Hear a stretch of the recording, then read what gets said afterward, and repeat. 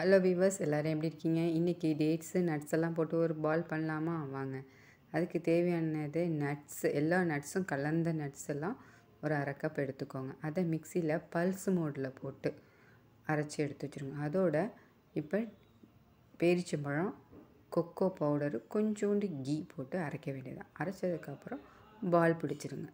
நல்லா ஸ்மூத்தாக வரும் பால் ஹெல்த்தியானது செஞ்சு பார்த்து சாப்பிட்டுட்டு